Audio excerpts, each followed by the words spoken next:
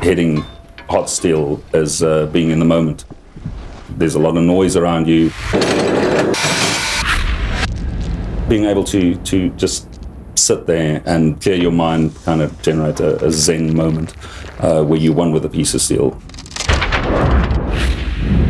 The white noise around you just disappears, and you, you're there, you're, you're focused on what you're doing, and nothing else matters.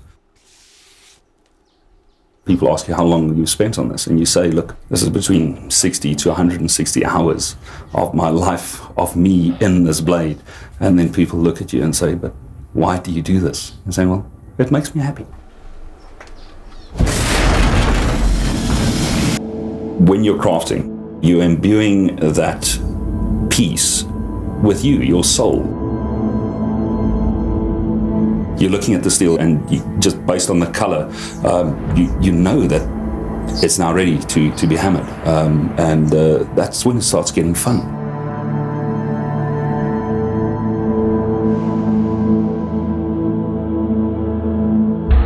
moving that metal to where you want it to be.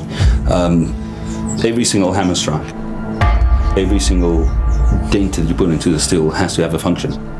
As you're smithing um, and, and you're building, you are building yourself, building a calm in yourself.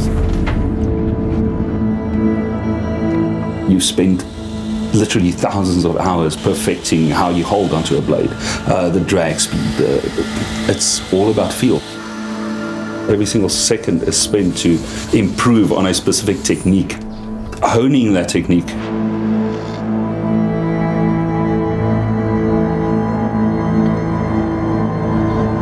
What people perceive the product that we make as art, that is, it's absolutely brilliant. But we are not artists. We're craftsmen.